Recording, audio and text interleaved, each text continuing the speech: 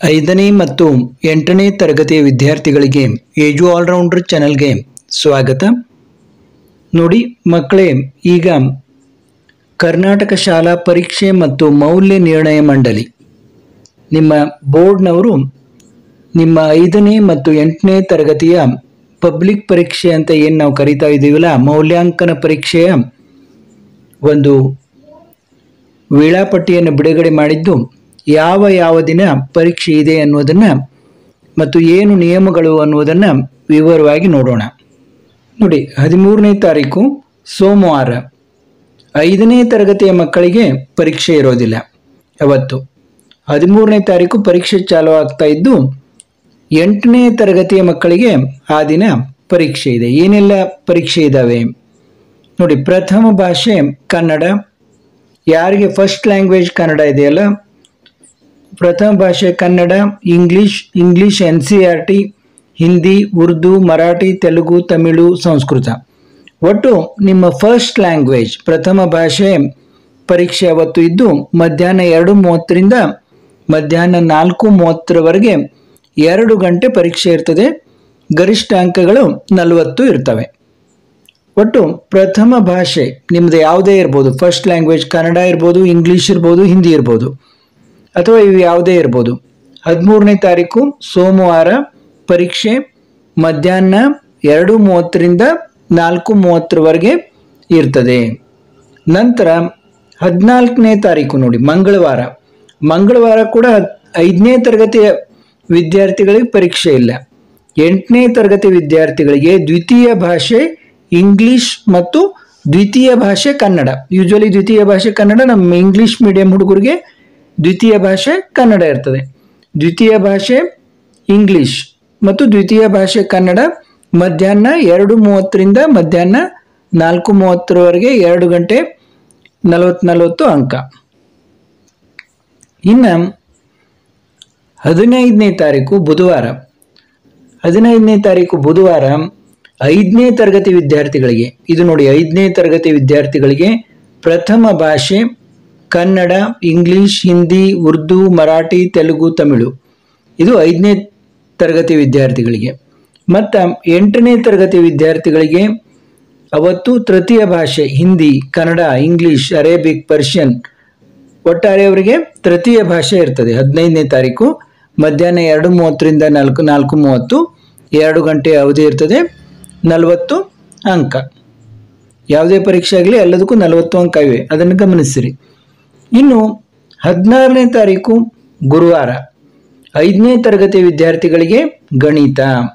ಎಂಟನೇ ತರಗತಿ ವಿದ್ಯಾರ್ಥಿಗಳಿಗೂ ಕೂಡ ಗಣಿತ ಇರ್ತದೆ. ಅವತ್ತು ಮ್ಯಾಥ್ಸ್ ಇರ್ತದೆ ನೋಡಿ. ಕನ್ನಡ, ಇಂಗ್ಲಿಷ್ ಮೀಡಿಯಂ ಹುಡುಗರು ಮ್ಯಾಥ್ಸ್ ಅಂತ ತಿಳ್ಕೊಳ್ಳಿ. ಗಣಿತ ಇರ್ತದೆ. ಐದನೇ ತರಗತಿ ವಿದ್ಯಾರ್ಥಿಗಳಿಗೂ ಕೂಡ ಗಣಿತ ಅಂದರೆ ಮ್ಯಾಥ್ಸ್ ಇರ್ತದೆ. ಮಧ್ಯಾಹ್ನ ಎರಡು ಮೂವತ್ತರಿಂದ ನಾಲ್ಕು ಮೂವತ್ತು, ಎರಡು ಗಂಟೆ ಅವಧಿ ನಲವತ್ತು ಅಂಕ.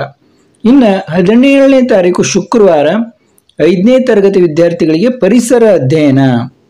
ಪರಿಸರ ಅಧ್ಯಯನ ಇರ್ತದೆ, ಎಂಟನೇ ತರಗತಿ ವಿದ್ಯಾರ್ಥಿಗಳಿಗೆ ವಿಜ್ಞಾನ ಅಂತಂದ್ರೆ ಸೈನ್ಸ್ ಇರ್ತದೆ. ಮಧ್ಯಾಹ್ನ ಎರಡು ಮೂವತ್ತರಿಂದ ನಾಲ್ಕು ಮೂವತ್ತು, ಎರಡು ಗಂಟೆ ನಲವತ್ತು ಅಂಕ ಇನ್ನು ಶನಿವಾರ ಹದಿನೆಂಟನೇ ತಾರೀಕು ದ್ವಿತೀಯ ಭಾಷೆ ಇಂಗ್ಲಿಷ್, ದ್ವಿತೀಯ ಭಾಷೆ ಕನ್ನಡ, ಐದನೇ ತರಗತಿ ವಿದ್ಯಾರ್ಥಿಗಳಿಗೆ. ಗಮನಿಸಿ, ಇದು ಐದನೇ ತರಗತಿ ವಿದ್ಯಾರ್ಥಿಗಳಿಗೆ ದ್ವಿತೀಯ ಭಾಷೆ ಇಂಗ್ಲಿಷ್ ಅಥವಾ ಕನ್ನಡ ಇಲ್ಲಿ ಎಂಟನೇ ತರಗತಿ ವಿದ್ಯಾರ್ಥಿಗಳಿಗೆ ಸಮಾಜ ವಿಜ್ಞಾನ ಇರ್ತದೆ. ಇವತ್ತು ಮಧ್ಯಾಹ್ನ ಎರಡು ಮೂವತ್ತರಿಂದ ನಾಲ್ಕು ಮೂವತ್ತು, ಎರಡು ಗಂಟೆ ನಲವತ್ತು ನಲವತ್ತು ಅಂಕ. ಇನ್ನು ಇಲ್ಲಿ ಏನು ಗಮನಿಸಬೇಕು ಅಂತಂದರೆ ಎಂಟನೇ ತರಗತಿಯಲ್ಲಿ ಪ್ರಥಮ ಭಾಷೆ English, N C R T ಮತ್ತು ತೃತೀಯ ಭಾಷೆ Hindi, N C R T ವಿಷಯಗಳು ಆದರ್ಶ ವಿದ್ಯಾಲಯಗಳಲ್ಲಿ ಓದುತ್ತಿರುವ ವಿದ್ಯಾರ್ಥಿಗಳಿಗೆ ಮಾ ವಿದ್ಯಾರ್ಥಿಗಳಿಗೆ ಮಾತ್ರ ಅನ್ವಯವಾಗುತ್ತವೆ. ದಿನಾಂಕ ಆರು ಮೂರು, ಎರಡು ಸಾವಿರದ ಇಪ್ಪತ್ತ್ಮೂರು ಸೋಮವಾರರಿಂದ ಹತ್ತು, ಮೂರು, ಎರಡು ಸಾವಿರದ ಇಪ್ಪತ್ತ್ಮೂರು ಶುಕ್ರವಾರದವರೆಗೆ ವಿದ್ಯಾರ್ಥಿಗಳಿಗೆ ಮೌಖಿಕ ಪರೀಕ್ಷೆಗಳನ್ನು ಆಯಾ ಶಾಲೆಗಳಲ್ಲಿ ನಿರ್ವಹಿಸುವುದು. ನೋಡಿ, ಆರನೇ ತಾರೀಕಿಂದ ಹತ್ತನೇ ತಾರೀಕಿನವರೆಗೆ ಮೌಖಿಕ ಪರೀಕ್ಷೆಗಳು ನಡೀತವೆ, ಆಯಾ ಶಾಲೆಗಳಲ್ಲಿ ನಿರ್ವಹಿಸ್ತಾರೆ.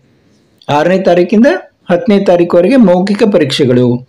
ವಿಶೇಷ ಶಾಲೆಗಳ ವಿದ್ಯಾರ್ಥಿಗಳಿಗೆ ಮಂಡಳಿಯಿಂದ ಸರಬರಾಜು ಮಾಡುವ ಪ್ರಶ್ನೋತ್ತರ ಪತ್ರಿಕೆಗಳನ್ನೇ ಬಳಸಿ ಶಾಲಾ ಹಂತದಲ್ಲಿ ಹಿಂದಿನ ಸಾಲುಗಳಲ್ಲಿ ನಡೆಸಿದಂತೆ ಮೌಲ್ಯಾಂಕನ ನಡೆಸುವುದು.